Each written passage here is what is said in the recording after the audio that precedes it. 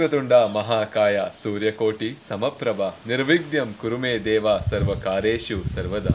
ಎಲ್ಲರಿಗೂ ನನ್ನ ನಮಸ್ಕಾರಗಳು ಹಾಗೂ ಗಣೇಶ ಚತುರ್ಥಿಯ ಶುಭಾಶಯಗಳು.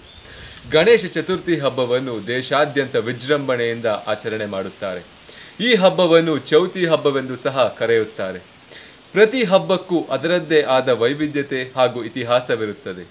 ಭಾದ್ರ ಮಾಸದ ಚತುರ್ಥಿ ಎಂದೇ ಚೌತಿ ಹಬ್ಬವನ್ನು ನಾಡಿನಾದ್ಯಂತ ಸಡಗರದಿಂದ ಆಚರಣೆ ಮಾಡುತ್ತಾರೆ. ಅಂದು ಗಣಪತಿಗೆ ಪ್ರಿಯವಾದ ಕಡುಬು, ಮೋದಕ ಹಾಗೂ ಮುಂತಾದ ಭಕ್ಷ್ಯಗಳನ್ನು ಅರ್ಪಿಸಿ ಹೂವಿನ ಜೊತೆಗೆ ಗರಿಕೆ ಹುಲ್ಲನ್ನಿಟ್ಟು ಪೂಜಿಸುತ್ತಾರೆ. ಮಹಾರಾಷ್ಟ್ರದಲ್ಲಿ ಪೇಶ್ವೆಗಳ ಆಡಳಿತದ ಕಾಲದಲ್ಲಿ ಅಪ್ರತಿಮ ಸ್ವಾತಂತ್ರ್ಯ ಹೋರಾಟಗಾರರಾದ ಲೋಕಮಾನ್ಯ ಬಾಲಗಂಗಾಧರ ತಿಲಕರು ಸ್ವಾತಂತ್ರ್ಯ ನಮ್ಮ ಜನ್ಮ ಸಿದ್ಧ ಹಕ್ಕು ಎಂಬ ಘೋಷವಾಕ್ಯದೊಂದಿಗೆ ಜನರನ್ನು ಜಾಗೃತಿಗೊಳಿಸಲು ಗಣೇಶೋತ್ಸವವನ್ನು ಪ್ರಾರಂಭಿಸುತ್ತಾರೆ. ಇಂದಿಗೂ ಸಹ ಮುಂಬೈ ನಗರದಲ್ಲಿ ಗಣೇಶೋತ್ಸವವನ್ನು ಬಹಳ ವಿಜೃಂಭಣೆಯಿಂದ ಆಚರಣೆ ಮಾಡುತ್ತಾರೆ. ಗಣಪತಿಯ ಹುಟ್ಟಿನ ಕತೆ ನಿಮಗೆಲ್ಲರಿಗೂ ತಿಳಿದೇ ಇದೆ. ಪಾರ್ವತಿಯು ಆಕೃತಿಯೊಂದನ್ನು ಸೃಷ್ಟಿಸಿ ಅದಕ್ಕೆ ಜೀವ ತುಂಬುತ್ತಾಳೆ. ತಾನು ಸ್ನಾನಕ್ಕೆ ಹೋಗುವಾಗ ಬಾಗಿಲನ್ನು ಕಾಯಲು ಹೇಳಿರುತ್ತಾಳೆ. ಅದೇ ಸಮಯಕ್ಕೆ ಪರಮೇಶ್ವರನು ಅಲ್ಲಿಗೆ ಬಂದಾಗ ಗಣಪತಿಯು ಒಳಗೆ ಹೋಗಲು ಬಿಡುವುದಿಲ್ಲ. ಆಗ ಪರಮೇಶ್ವರನಿಗೆ ಸಿಟ್ಟು ಬಂದು ಗಣಪತಿಯ ತಲೆಯನ್ನು ಕತ್ತರಿಸುತ್ತಾನೆ. ಸ್ನಾನ ಮುಗಿಸಿ ಬಂದ ಪಾರ್ವತಿ ಇದನ್ನು ನೋಡಿ ಅಳಲು ಪ್ರಾರಂಭಿಸುತ್ತಾಳೆ. ಪಾರ್ವತಿಯನ್ನು ಸಮಾಧಾನಪಡಿಸಬೇಕೆಂದು ಪರಮೇಶ್ವರನು ಉತ್ತರ ದಿಕ್ಕಿಗೆ ಮಲಗಿರುವವರ ತಲೆಯನ್ನು ಕಡಿದು ತರುವಂತೆ ಆಜ್ಞೆ ಮಾಡುತ್ತಾನೆ. ಹಾಗೆಯೇ ಉತ್ತರ ದಿಕ್ಕಿಗೆ ಮಲಗಿದ್ದ ಮರಿಯಾನೆಯೊಂದರ ರುಂಡವನ್ನು ಕತ್ತರಿಸಿ ತಂದು ಗಣೇಶನ ದೇಹಕ್ಕೆ ಜೋಡಿಸುತ್ತಾರೆ. ಆ ನಂತರ ಗಜಾನನ, ಗಜಮುಖ, ಗಜವದನ ಎಂದೆಲ್ಲ ಕರೆಸಿಕೊಳ್ಳುವ ಗಣಪತಿ ವಿಘ್ನ ನಿವಾರಕನಾಗಿ ಗಣಗಳ ಅಧಿಪತಿಯಾಗಿ ರೂಪುಗೊಳ್ಳುತ್ತಾನೆ. ಹಾಗೆಯೇ ಈ ಹಬ್ಬದಂದು ಸಂಜೆ ಚಂದ್ರನನ್ನು ನೋಡಿದರೆ ವರ್ಷವಿಡೀ ಕಷ್ಟ ಕಾರ್ಪಣ್ಯಗಳಿಗೆ ಗುರಿಯಾಗುತ್ತೇವೆ ಎಂಬ ನಂಬಿಕೆ ಇದೆ.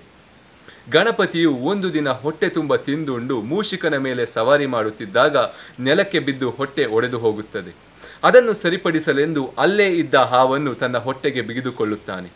ಮೇಲಿನಿಂದ ನೋಡುತ್ತಿದ್ದ ಚಂದ್ರ, ಜೋರಾಗಿ ನಗುತ್ತಿರಲು ಗಣಪತಿಯ ಸಿಟ್ಟು ನೆತ್ತಿಗೇರಿ ನೀನು ಕ್ಷೀಣಿಸಿ ಹೋಗು ಎಂದು ಶಾಪ ಹಾಕುತ್ತಾನೆ. ಆಗ ಚಂದ್ರನು ಕ್ಷಮೆ ಕೇಳಿದಾಗ ಶುಕ್ಲ ಪಕ್ಷದಲ್ಲಿ ವೃದ್ಧಿಸು, ಕೃಷ್ಣ ಪಕ್ಷದಲ್ಲಿ ಕ್ಷೀಣಿಸು ಎಂದು ಭಾಗಶಃ ಶಾಪವನ್ನು ಕಡಿಮೆ ಮಾಡುತ್ತಾನೆ. ಹೀಗಾಗಿ ಗಣೇಶನನ್ನು ವಕ್ರತುಂಡ ಎಂದು ಸಹ ಕರೆಯುತ್ತಾರೆ. ಆದ್ದರಿಂದ ಚೌತಿ ಹಬ್ಬದಂದು ಯಾರಾದರೂ ಚಂದ್ರನನ್ನು ನೋಡಿದರೆ ವರ್ಷವಿಡೀ ಸ ಅಪವಾದಗಳಿಗೆ ಗುರಿಯಾಗುವ ಸಂಭವ ಹೆಚ್ಚು ಎಂಬ ನಂಬಿಕೆ ಜನರದ್ದು. ಧನ್ಯವಾದಗಳು.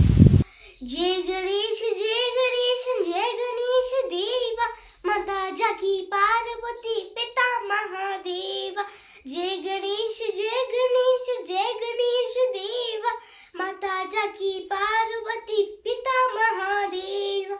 ओम गण गणपते नमो नमः। त्रिसिद्धि विनायक नमो नमः। अष्टविनायक नमो नमः।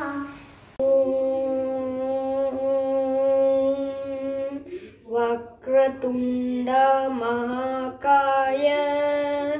सूर्यकोटि समप्रभा। निर्विग्रम कुरु मे दे। सर्वकारेषु सर्वदा। बाभारो गणनायका। गणनायका। शङ्करथनया सुखदाय ಸುಖದಾಯಕ ಬಾಬಾರೋ ಬಾರೋ ಗಣನಾಯಕ ಗಜವದನ ಬೇಡುವೆ ಗೌರಿ ತನಯ ತ್ರಿಜಗವಂದಿತನೆ ಸುಜನ ಪೊರೆವನೆ ಗಜವದನ ಬೇಡುವೆ ಪಾಶಾಕುಶಧರ ಪರಮ ಪವಿತ್ರ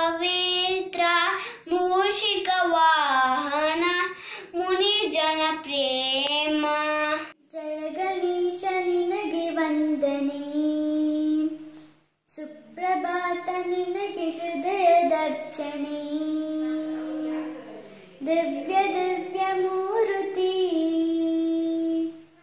नम भव्यणसारथी अग्रपूजगधिपति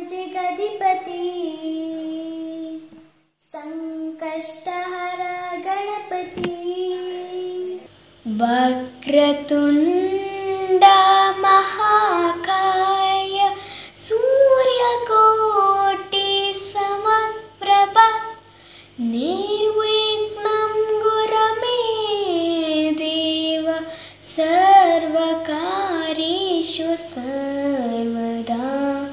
सर्वकार्येषु सर्वदा। राग्रे वसते Lakshmi करमध्ये Saraswati.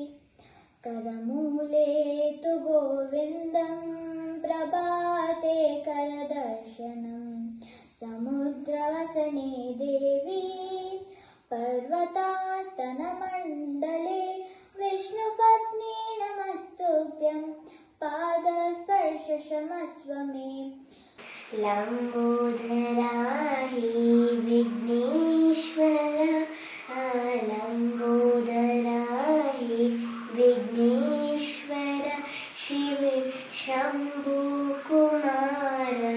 Vighneshwar लम्बोदराहि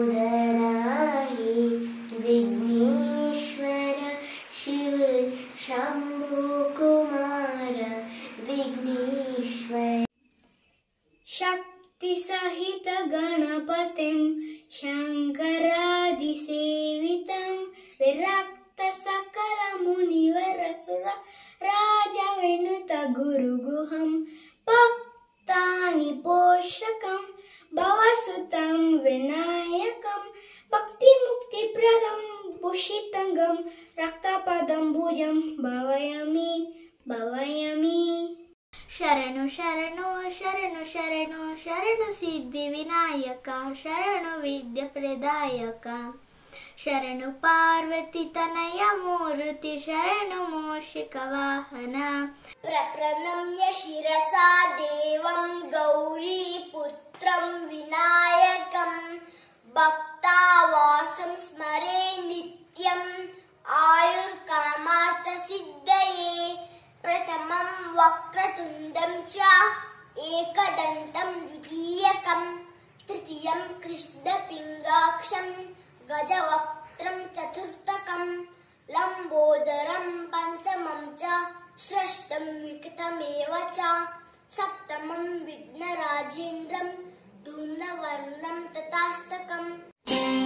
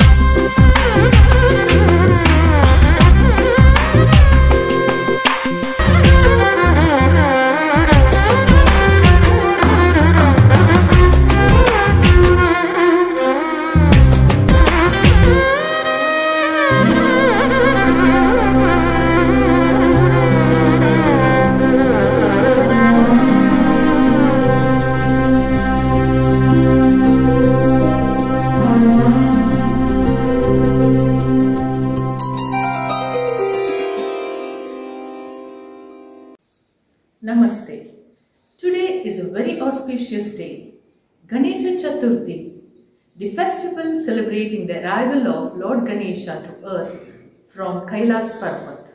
Also known as Vinayaka, Lord Ganesha is revered as a god of new beginnings, remover of obstacles, and the god of wisdom. It is believed that the four arms of Lord Ganesha represents the four inner attributes of the subtle body the mind, the intellect, ego, and conditional conscience. Lord Ganesha represents the pure consciousness, the Atma, which enables the four attributes to function in us. This festival is celebrated with great zeal and fervor across the nation as it spreads the message of unity, positivity, and happiness. My dear students, Happy Ganesha Chaturthi to you and your family. May Lord Ganesha shower you with wisdom and knowledge, and the festive colors of this celebration brighten up your lives. Thank you.